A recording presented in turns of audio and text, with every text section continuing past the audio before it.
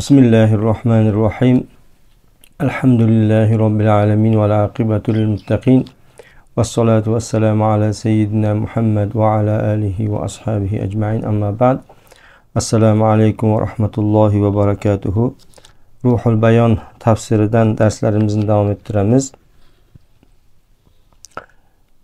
yuqoridagi darsimizda ihdina sirotal mustaqim oyatini tafsirini o'qiyotgandik bu darsimiz o'shaning davomi bo'ladi inshaalloh. Musannif rahmatullohi alayh ismoil haqqiy mustaqim so'zini alohida yana tafsir qilib aytyaptilarki val mustaqimu ala aqsamin. Mustaqim bir necha qismlarga bo'linadi. Minha mustaqimun bi qavlihi va fi'lihi va qalbihi va mustaqimun bi qalbihi va fi'lihi duna qavlihi. To'g'ri yo'lga yuruvchi to'g'ri bo'luvchi kishi bir necha turga bo'linadi. Bunday kishilar ba'zilar so'zi bilan va fe'li bilan va qalbi bilan to'g'ri bo'luvchi kishilar bo'ladi kishi bo'ladi. Ya'ni so'z so'zda ham o'rta hol bo'ladi fe'lda ham o'rta hol bo'ladi va qalbi bilan ham o'rta hol kishi bo'ladi. Ba'zilar esa qalbi va fe'li bilan mustaqim bo'ladi so'zi bilan emas. Ay lam yu'lim ahadan ya'ni biror kishiga o'rgatmagan bo'ladi. Shu yuqoridagi ikkita turiga favz bordir ya'ni najot bordir zafar bordir va birinchisi a'lodir. Ya'ni shu ikkita turdan ham eng birinchisi avlo ya'ni so'zda ham fe'lda ham ya'ni ishida ham qalbida ham to'g'ri bo'lgan o'rta hol bo'lgan kishi oliy kishi bo'lar ekan. Va mustaqimun bi fi'lihi va qawlihi duna qalbihi. Yana ba'zilar o'z fe'li bilan va qavli bilan ya'ni ishi va so'zida mustaqim o'rta hol bo'ladiyu qalbida emas. Ya'ni qalbida istiqomat mustaqimlik bo'lmaydi. O'rta hollik bo'lmaydi bunda boshqaga manfaat bo'lishi umid qilinadi ya'ni bunday holatlarda insonni o'ziga emas o'sha istiqomat balki boshqalarga foyda beradi ومنها مستقيم بقوله وقلبه دون فعله ومستقيم بقوله دون فعله وقلبه ومستقيم بقلبه دون قوله وفعله ومستقيم بفعله دون قوله وقلبه وهؤلاء الأربعة alayhim la lahum. Yana shu mustaqimlikning turlaridan yana biri ba'zi insonlar so'zi bilan va qalbi bilan o'rtahol bo'ladi fe'li bilan emas. Ya'ni ishlarida o'rtahol bo'lmaydi. Ishlarida yo haddan oshib yuboradi yoki nuqsonga yo'l qo'yadi.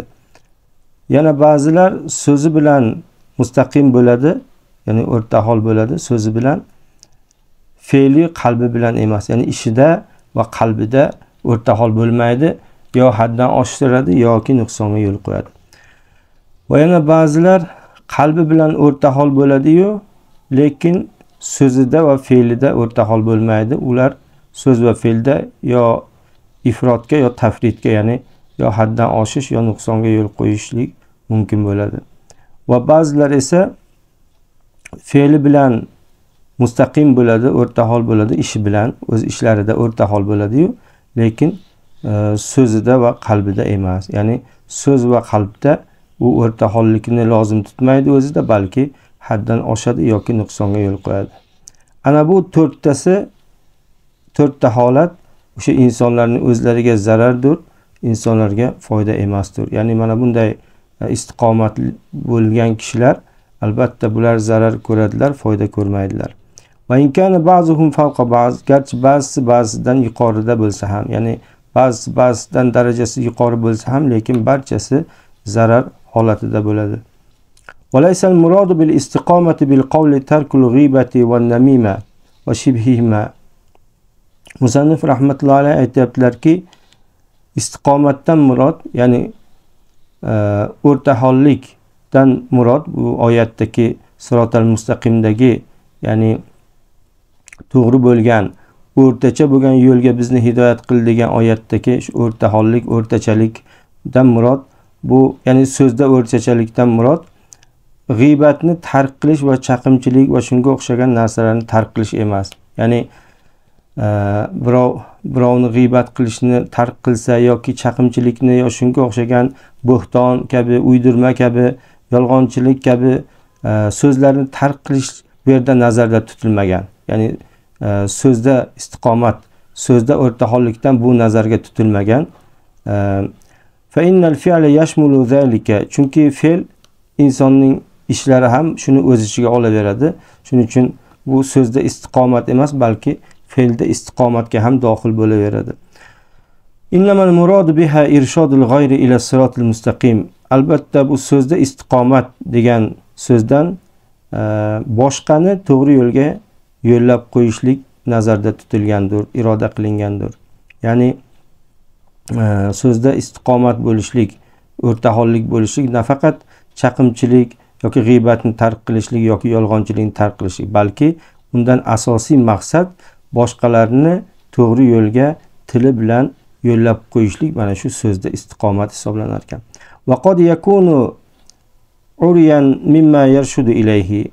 Ba'zan inson o'zi birovlarni to'g'ri yo'lga hidoyatlab irshod qilib yo'l ko'rsatib o'zi esa bundan bebahra qolishi ham mumkin bo'ladi مثال اجتماعها رجل تفقه في أمر صلاته وحققها ثم علمها غيره فهذا مستقيم في قوله endi uchalasini bir joyga jamlanganligini bir kishida jamlanganini misoli bir kishi namozini to'g'risida namozi o'zini namozini ishi to'g'risida faqih bo'lsa ya'ni namozining rukunlarini namozdagi masalalarni bilsa va uni mustahkam o'rgansa o'rgansa chuqur o'rgansa so'ng uni o'zidan boshqaga ta'lim bersa. Mana shu so'zda istiqomatda bo'luvchi kishidir. Ya'ni o'zining so'zida o'rtahollikni lozim tutgan kishi hisoblanadi ya'ni bir kishi namozning rukunlarini namozga oid masalalarni yaxshi o'rganib puxta o'rgangandan keyin uni boshqaga ta'lim bersa so'zi orqali uni yetkazsa ana bu kishi so'zda mustaqim kishi hisoblanadi ثم حضر وقتها فأداها على ما علمها محافظا على أركانها الظاهرة fahaza mustaqimun fi fi'lihi so'ng namozni vaqti kirsa namozni vaqti hozir bo'lsa va namozni o'zi bilganiga ko'ra ado etsa ya'ni chuqur o'sha namozni rukunlari namozga oid masalalarni chuqur bilganiga ko'ra namozni ado etsa uni zohiriy rukunlariga ko'ra zohiriy rukunlarini E, muhofiz qilgan holda ya'ni saqlagan holda muhofaza qilgan holda ado etsa bu فهذا مستقيم في فعله. بو وزن فعل ده يعني إشي ده مستقيم بلغان كشي حسابنا ثم علم أن مراد الله منه من تلك الصلاة حضور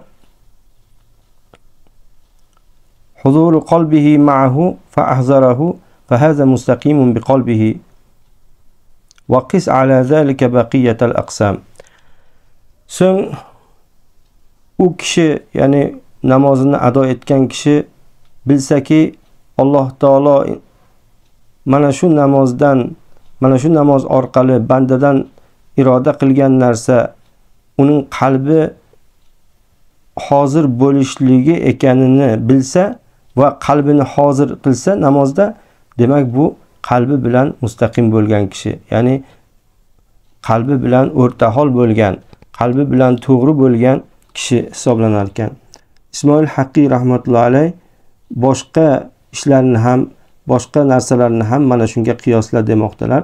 Ya'ni har bir ishda inson har bir u namoz bo'lsin ro'za bo'lsin e, barcha bir e, farz amallari bo'lsin e, yoki vojib amallari bo'lsin barcha alloh taoloni buyruqlari borasida bo'lsin yoki qaytariqlari borasida bo'lsin barcha halol narsalar borasida yoki barcha harom narsalar borasida bo'lsin inson o'sha narsalarni chuqur o'rganib ularni boshqalarga yetkazishi bu e, al istiqomatu bil qavl deyilar ekan ya'ni so'z bilan mustaqim bo'lishlik so'z bilan to'g'ri bo'lishlik deyilar ekan endi o'zi amal qilsa shu bilganiga u demak fe'l bilan mustaqim bo'lgan kishi ya'ni o'zini ishida ham to'g'ri yo'lni tutgan kishi hisoblanar ekan va endi o'sha holatlarda shu amal qilayotgan holatida banda e, qalbini hozir qilsa ya'ni bu qilayotgan ishlarini hammasini alloh taolo ko'rib turganini his qilib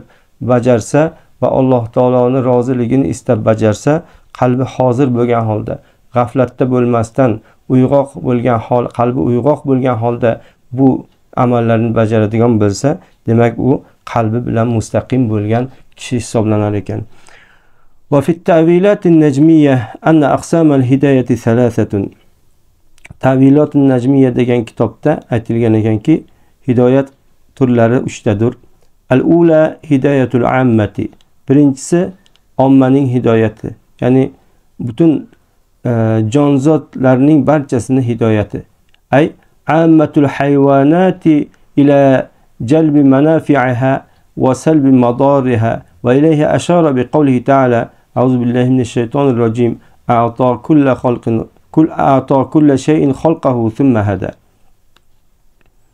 ya'ni ommaning hidoyati deyilganda barcha jonzotlarni manfaatlarini jalb qilishlik va zararli narsalarni e, ketkazishlik zararli narsalardan chetlanishlikka hidoyat etishlikdir ya'ni alloh taolo barcha jonzotlarni u ho inson bo'lsin ho boshqa bir hayvonot bo'lsin qushlar bo'lsin hasharot bo'lsin albatta alloh taolo ularni o'zlariga foydali bo'lgan ishlarga hidoyatlaydi. Ya'ni uning jismini rivojlanishiga jismini davom etishiga tirikligini mavjudligini davom etishi uchun kerak bo'lgan foydali narsalarni oziq ovqat bo'lsin yoki bir uy joy bo'lsin shunga o'xshagan narsalarni o'ziga talab qilishlik o'sha o'ziga hosil qilishlikka alloh taolo e, o'sha narsalarni hidoyatlab qo'yadi shunga. Va zararli narsalardan chetlanishlikka olloh hidoyatlaydi ya'ni zararli narsalarnidan e, butun ho inson bo'lsin ho hayvonot e, qushlar bo'lsin o'zini chetga oladi va undan qochadi. Mana shu narsalar albatta alloh taoloni hidoyati bilan bo'lishini bu yerda aytilmoqdaki alloh taolo butun jonzotlarni ularga foydali bo'lgan ishlarga va e, hidoyatlaydi. E, foydali bo'lgan ishlarni ular o'zlariga kasb qilishlari o'zlariga o'zlashtirishlariga hidoyatlaydi va zararli bo'lgan ishlardan chetlanishga ularni hidoyatlaydi. Yo'l ko'rsatadiki ya'ni bu ishni qilsang senga zarar bo'ladi degan ma'noda alloh taolo ularga ya'ni bildirib turadi demoqdalar. Alloh taolo o'z so'zi bilan bunga ishora qilgan ekan. Oyat karimada kelyaptiki ato kulla shayin xalqahu summa hada. Har bir narsaga o'z xilqatini berdi. Ya'ni har bir narsani alloh taolo yaratib so'ng uni hidoyat etdi. Ya'ni e, nima foyda nima zararli narsalar ekanligini olloh ularga bildirdi va foydali narsalarni o'zlashtirib zararli narsalardan chetlanishni ham olloh ularga bildirdi. Va qavlihi va hadaynahu najidayn. Yana alloh taoloning so'zi ham shunga dalil bo'lyaptiki ya'ni ommaning hidoyatiga ya'ni biz uni e, ikki yo'lga hidoyatladik yaxshilik va yomonlik yo'liga yaxshilik va yomonlik yo'lini uni yomonlik yo'llarini unga ko'rsatib berdik degan ma'noda vasaniya hidoyatul xossa ay للمؤمنين إلى الجنة وإليه الإشارة بقوله تعالى يهديهم ربهم بإيمانهم ikkinchi hidoyat turi bu xoslarning hidoyatidir. Xoslarni hidoyat etish. Ya'ni mo'minlarni jannatga hidoyatlashlik. Alloh taolo o'z so'zi bilan bunga ham ishora qilgan ekan. Yahdihim robbuhum bi imanihim tajri min tahtihimul anhar fi jannatin naim degan oyat bilan. Ya'ni olloh ularni ya'ni ularning robbilari ularni iymonlari sababli ostidan anhorlar oqib turadigan naim jannatlariga yo'llab qo'yadi degan oyatni dalil qilib aytyaptilarki olloh mo'minlarni jannatga yo'llaydi jannat tomonga yo'l ko'rsatadi olloh mo'minlarga iymonlari sababli degan ya'ni jannatga kirgizadi degan ma'noda bu yerda demak xoslarni hidoyati shu ekan mo'minlarni jannat tomonga hidoyatlashlik والثالث هداية الأخص وهي هداية الحقيقة إلى الله بالله endi uchinchi hidoyat turi bu eng xoslarni hidoyatidir. Ya'ni alloh taolo eng xos bandalarni hidoyatlashi. Bu esa ollohga olloh bilan hidoyatlashlikdir. Ya'ni alloh taolo o'zi o'zi tomonga hidoyatla ya'ni inson ollohga olloh bilan yo'l topadi.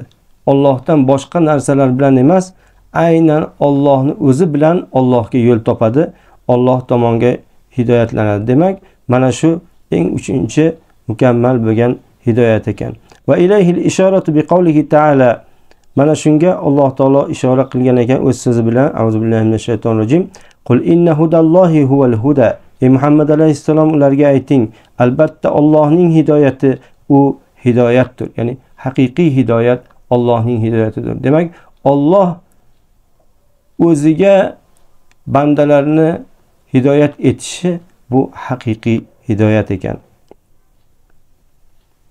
Yana bir so'zni bu yerda oyatni dalil qilyaptilarki inni zahibun ila robbi sayahdin. Ya'ni albatta men robbimga boruvchiman. Robbim meni hidoyatlaydi degan e, so'zni. Mana bu ham e, demak e, robbimga yuzlanaman robbimga inobat qilaman robbimga talpinaman va robbim meni yaqinda hidoyatlaydi degan oyatni dalil qilyaptilarki olloh bandasini o'ziga hidoyatlashi eng ulug' hidoyat ekan.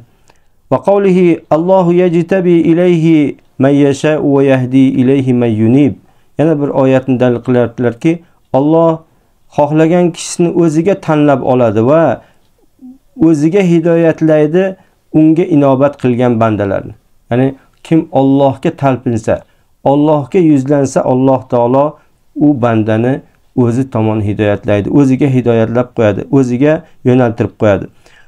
Va qawlihi va vajadaka dollan fahada yana bir oyatni dalil qilyaptilarki ya'ni Zuhor surasidagi oyatni ey muhammad alayhissalom Alloh seni adashgan holatda topdi va seni hidoyat etdi hidoyat qildi. Ya'ni Alloh seni adashgan holda topib وزجه هدايت لدماغتلر أي كنت ضالا في تيه وجودك فطلبتك بوجودي ووجدتك بفضلي ولطفي وهديتك بجذبات عنايتي ونور هدايتي إلى إلي وجعلتك نورا فأهدي بك إلى من أشاء من عبادي فمن, فمن اتبعك وطلب رضاك فنخرجهم من ظلمات الوجود البشري إلى نور الوجود الروحاني ونهديهم إلى صراط مستقيم bu yerda musannif rahmatullohi alayh oyatni tafsir qilib aytyaptilarki ya'ni Alloh seni adashgan holda topib seni hidoyatladi degan oyatni tafsir qilib aytyaptilarki ya'ni ey muhammad alayhissalom sen o'z mavjudlik sahroyingda adashuvchi kishi eding va men seni o'z saxiyligim oliyjanobligim bilan fazli karamim bilan seni topdim.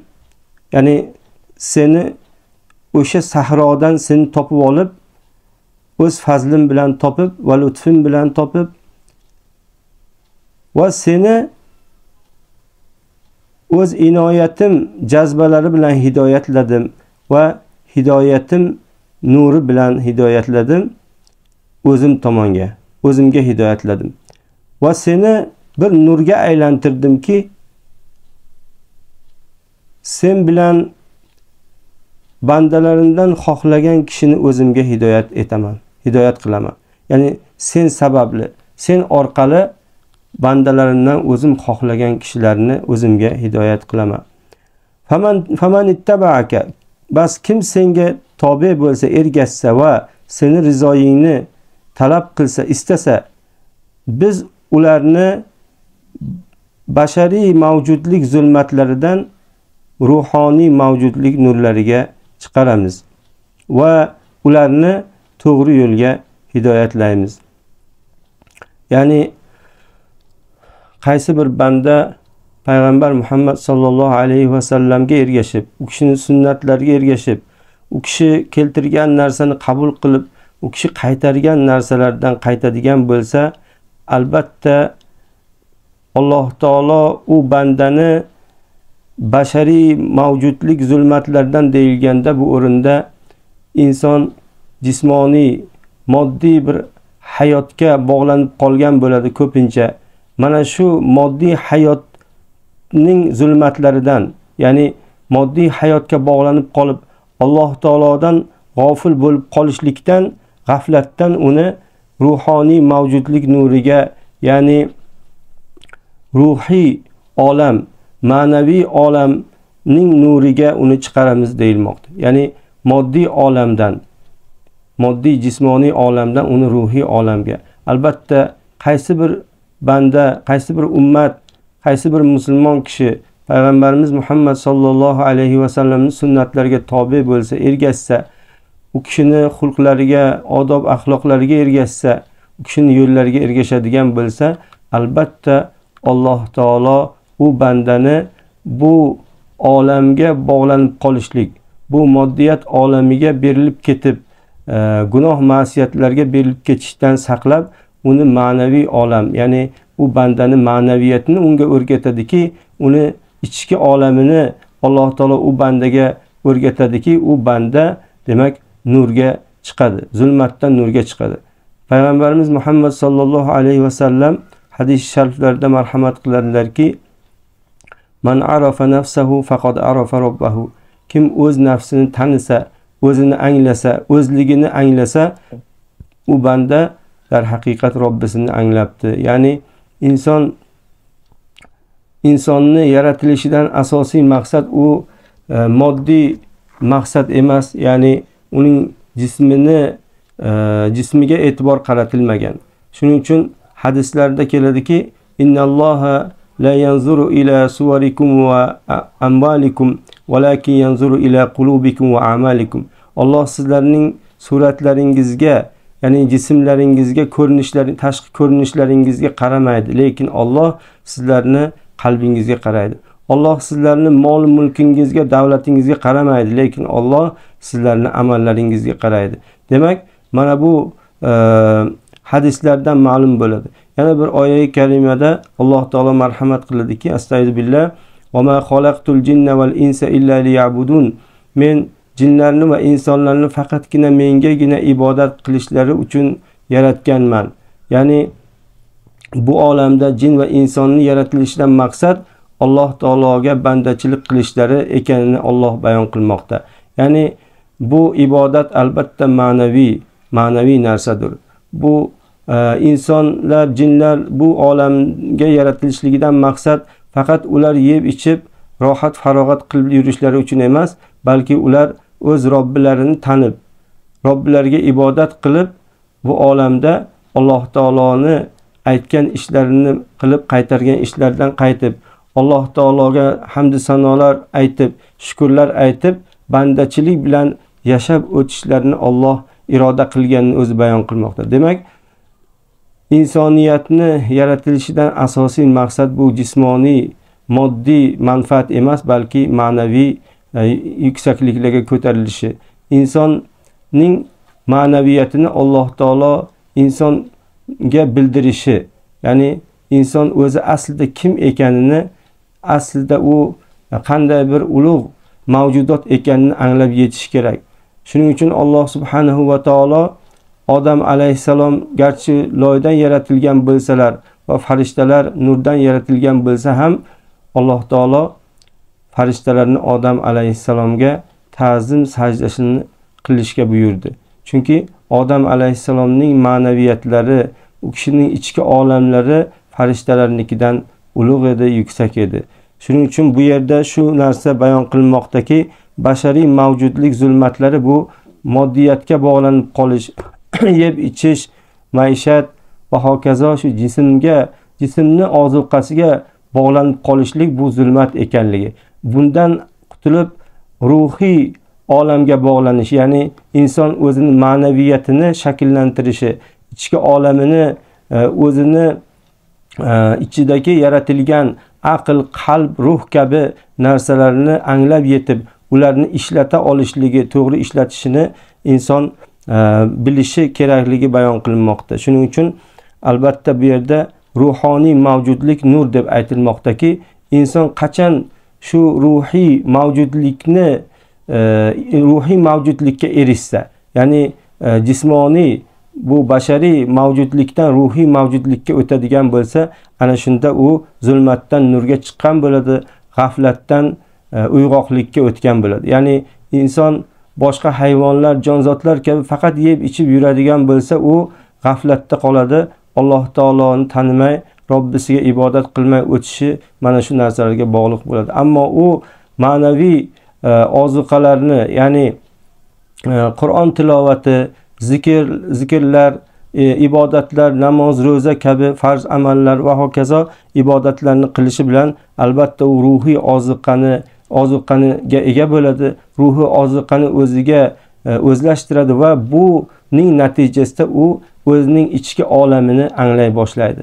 Ya'ni u inson o'zi aslida qanday ulug' mavjudot ekanini u farishtalardan ham ulug' bir mavjudot yuksak bir ma'naviyat egasi ekanini inson anglaydi. Mana shu e, o'rinda shu to'g'risida so'z yuritildi. Alloh taolo qur'oni karimda to'g'ri yo'lni bayon qilib aytadiki ya'ni o'ziga hidoyatlashini haqiqatda sizlarga ollohdan nur va ochiq kitob keldi. Yahdi bihillah. U bilan olloh sizlarni hidoyat etadi. Ya'ni nur va ochiq kitob. Nur bu yerda qur'oni karim ochiq kitob ham qur'oni karim. Albatta qur'oni karim bu ham ochiq kitob ham nurdir. U nurki o'sha nur bilan alloh taolo e, demak e, bandalarni o'ziga hidoyatlaydi. Bu o'rinda nurdan murod e, payg'ambarimiz alayhissalom nazarda tutilgan bo'lishlari ham mumkin. Bu tafsir ham xato bo'lmaydi. Sizlarga nur keldidan murod ya'ni payg'ambar u nur bo'lgan bir inson. U nurga yetishgan. Olloh uni nurga aylantirgan bir insonki u sizlarni yo'lingizni yoritadi va ochiq kitobdan murod bu yerda qur'on. Albatta sizlarga mana shunday ikkita narsani olloh berdi va mana shu narsa bilan olloh sizlarni o'ziga hidoyatlaydi desa ham xato bo'lmaydi inshaalloh. والصراط المستقيم هو الدين القيم وهو ما يدل عليه القرآن العظيم وهو خلق سيد المرسلين صلى الله عليه وسلم. فيما قال تعالى وإنك لعلى خلق عظيم صدق الله العظيم. صراط المستقيم ya'ni yuqorida ham aytib o'tganlardek to'g'ri yo'l bu to'g'ri dindir haq dindir ya'ni islom dinidir va u qur'oni karim unga dalolat qilgan narsadir ya'ni albatta Э, to'g'ri yo'l bu haq din ekaniga qur'oni karim dalolat qilgan. Va u ya'ni mana shu haq din bu payg'ambarlarning sayyidining xulqidir payg'ambarimiz alayhissalomning xulqlari ana shunday e, din din bilan xulqlangan edi. Qur'on bilan xulqlangan edi. Alloh taolo qur'oni karimda o'zi buni bayon qildiki va innaka la ala xuluqin azim. Ey muhammad alayhissalom albatta siz buyuk xulq ustidasiz. Ya'ni siz ulug' xulqli insonsiz deb alloh taolo bayon qildi. Summa huwa imma ilal jannati wa zalika li ashabil yamin kama qala ta'ala vallohu yad'u ila daris salam. So'ng mana shu to'g'ri yo'l yoki jannatga yo'llaydi insonni. Bu endi ashobil yaminlar uchundir. Ashobil yamindan murod bu yerda o'ng tomon egalari o'ng tomon egalari qur'oni karimda ham e, kelgan bayon qilingan ashobil yamin haqida. Albatta ular e, yaxshi amallarni qilgan bandalar hisoblanadi. Ana shu bandalarni to'g'ri yo'l ya'ni e, ya'ni payg'ambarimizni mana shu xulqlari qur'oni karim to'g'ri yo'l albatta ularni jannatga hidoyat etadi jannatga yo'llaydi.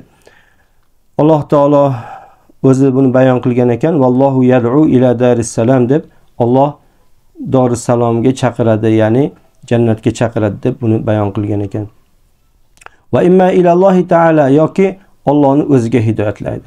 Demak sirotal mustaqim jannatga hidoyatlaydi ya ashobil yaminni yo yana ham ulardan ham yuqori bo'lgan zotlar bor. Ular hozir pastda bayon qilinadi quyida sobiqinlar yani as-sabiqun as-sabiqun ulaykal muqarrabun deb ham Alloh boshqa oyatlarda bayon qilgan.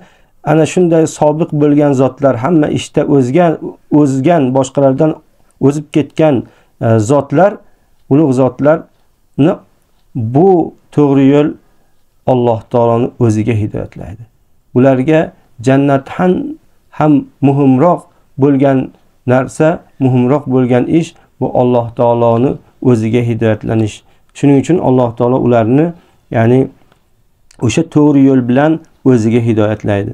وهذا للسابقين المتقربين ana aytyaptilarki bu endi ya'ni alloh taologa hidoyatlanishi e, sobiqlar uchun bo'ladi va ular mutaqarrib bo'lgan ya'ni alloh taologa e, qurbat hosil qilgan ma'naviy yaqinlik hosil qilgan alloh taoloniga nihoyatda bir yuksak muhabbat e, zohir qilgan sobiq bo'lgan ya'ni hamma ishlarda yaxshi ishlarda yaxshi amallarda birinchilardan bo'lgan zotlar uchun mana shu ish bo'lar ekan. Ya'ni alloh taolo ularni o'ziga hidoyatlar ekan.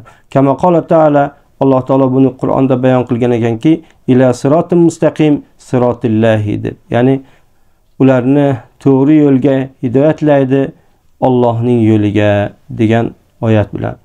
Va kullu ma yakunu li ashabil yamin yahsul lisabiqin endi ashobli yamin uchun bo'ladigan har bir narsa ya'ni har bir ne'matlar ashobul yaminga berilgan har bir ne'matlar sobiqlar uchun ham o'z öz o'zidan hosil bo'ladi. Chunki alloh taologa erishgan alloh taoloni muhabbatiga rizosiga erishgan bandalar albatta jannatga ham erishadilar.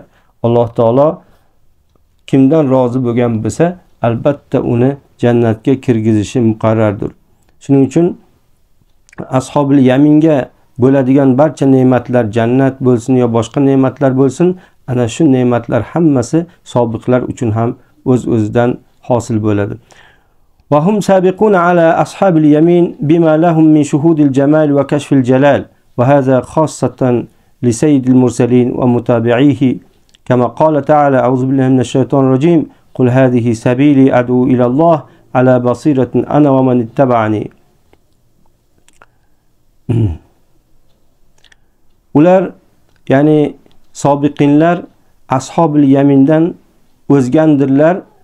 Jamol va jalol tajallisi ularga bo'lganligi bilan. Ya'ni alloh taoloni jamol sifatlari alloh taoloni fazli karamiga oid bo'lgan sifatlar va jalol sifatlari ya'ni adolatiga va qahriga oid bo'lgan sifatlar ularning qalbiga tajalli qilgan. Ya'ni o'sha sifatlarning ma'nolari o'sha sifatlarning mazmun mohiyatlari sobiqlarning qalbida e, ochilgan. U ma'nolarni u sifatlarni ma'nolarini ular boshqalardan ko'ra chuqurroq anglab yetgan va ular shunga ko'ra amal qilgan zotlar. Shuning uchun ular ashobil yamindan ko'ra biroz yuqori darajada bo'ladilar. Va haza mana shu xossatan mursalinlarni sayidi uchun hosil bo'lgandir. Ya'ni payg'ambarimiz alayhissalomga va u kishiga ergashganlarga mana shu ish e, hosil bo'ldi. Alloh taolo e, buni qur'oni karimda quyidagicha bayon qiladiki ey muhammad alayhissalom ayting mana shu mening to'g'ri yo'limdir. Men ollohga chaqiraman. Ala basiratin ana va man tabani basiratga ko'ra men va menga ergashganlar. Ya'ni payg'ambarimiz sollallohu alayhi vasallamga alloh taolo buyuryaptiki ey muhammad alayhissalom odamlarga aytingki mana shu mening to'g'ri yo'limki men ana shu yo'lda turib sizlarni ollohga da'vat etaman ollohga chaqiraman. Basiratga ko'ra aniqlikka ko'ra e, chaqiraman. Men va menga ergashganlar. Men ham menga ergashganlar ham ana shunday bir E, E, xususiyatga ega bo'lgan holimizda e, to'g'ri yo'lda sobit turgan holimizda basirat ko'zlarimiz ochiq bo'lgan holimizda biz sizlarni ya'ni qalb ko'zlarimiz ochiq bo'lgan holida sizlarni allohga chaqiraman degan e, oyatning mazmuni quyidagicha. Qola shayx sadiy qudisasirruhu bu oyatga muvofiq shayx sadiy qudisasirruhu ham bir bayt aytgan ekanlar. Agar juz بحق می رود جادعت در آتش فشاند سجادعت ای بنده اگر seni himmating haq taolodan boshqa tomonga buriladigan bo'lsa do'zaxga to'shaladi sening joy namozing ya'ni bu yerda majoziy ma'no aytilmoqda. Ya'ni seni himmating seni maqsading qasding seni niyatlaring seni fikr mulohazalaring Allohdan boshqa tomonga buriladigan bo'lsa ya'ni seni g'arazlaring shu dunyoda yashashdan maqsading boshqa narsa bo'ladigan ya'ni mosivalloh bo'ladigan bo'lsa Allohdan boshqa narsalar bo'ladigan bo'lsa unda seni joying do'zax bo'lishi muqarrar demoqdalar. Shuning uchun muhtaram azizlar barchalarimizga lozim va lobudki avvalambor niyatlarimizni to'g'irlashligimiz har bir amallardan oldin bir ishni qilishimizdan oldin niyatlarimizni to'g'irlab olishimiz faqat alloh taoloni roziligini istab amal qilishligimiz hammamizga lozim va lobud bo'ladiki najot mana shunday ekan. Hammamiz alloh taologa talpinishimiz alloh taologa yuzlanishimiz kerak. Hamma ishlarda alloh taolodan yordam so'rashimiz kerak boshqalardan emas. Ana shundagina alloh subhanahu va taolo siz bizdan rozi bo'ladi inshaalloh vassalomu alaykum va rahmatullohi va barakatuh